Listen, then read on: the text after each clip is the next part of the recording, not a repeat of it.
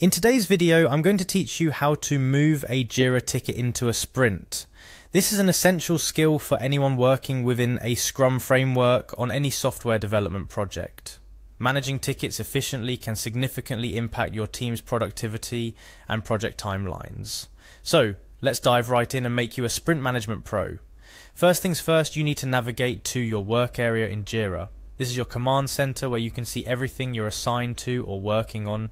It's essentially the dashboard from which all your project management tasks begin. To get there, simply open your preferred web browser, go to Jira, and then look for the Your Work section. This is usually located at the top of your Jira homepage. Once you're in the Your Work area, your next step is to click on Projects. This is where all the projects you're a part of are listed. Clicking here will take you to a list of your current projects.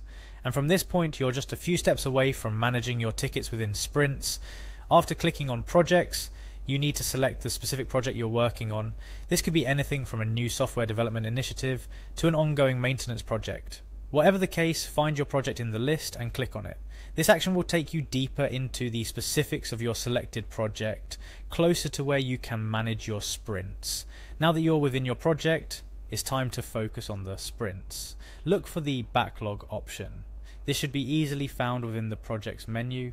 The backlog is where all of the tasks or tickets that have not yet been assigned to a sprint live. It's like a waiting room for your tasks before they get called into action. Clicking on backlog will bring up the list of unassigned tasks for this particular project. Here you'll see everything that hasn't yet been allocated to a sprint. This is where the magic happens. You'll need to find the specific ticket you want to move into a sprint. Once you've located it, the process is simple, drag and drop. That's right, moving a ticket into a sprint is as easy as clicking on the ticket, holding that click, dragging it to the designated sprint, and then releasing. Sprints are typically named and organized in a way that makes it clear which one is currently active or up next. So find the appropriate sprint for your ticket and move it there. This action of dragging and dropping your ticket into a sprint is a significant step in managing your project's workflow.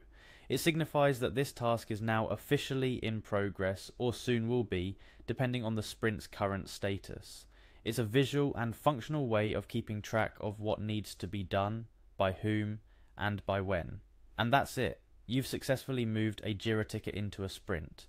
This straightforward process is foundational for agile project management, helping teams stay organized and focused. With the ticket now in the sprint, you and your team can start working towards completing it within the sprint's time frame. Remember, the whole idea behind Agile and using tools like Jira is to make project management more flexible, transparent, and efficient. Moving tickets into sprints as needed helps maintain that agility, ensuring that everyone on the team knows what they should be working on and what the priorities are. A few extra tips before we wrap up. Always make sure you're moving the ticket to the correct sprint. Double check the sprint names and dates if necessary. Also, communicate with your team. If a ticket is being moved into the current sprint, send let the relevant team members know so they can adjust their workloads accordingly. So there you have it, a simple guide to moving Jira tickets into a sprint. With this skill under your belt, you'll be better equipped to manage your projects, prioritize tasks, and keep your team on track. Thanks for watching and be sure to subscribe for more tutorials on making the most of Jira and other project management tools.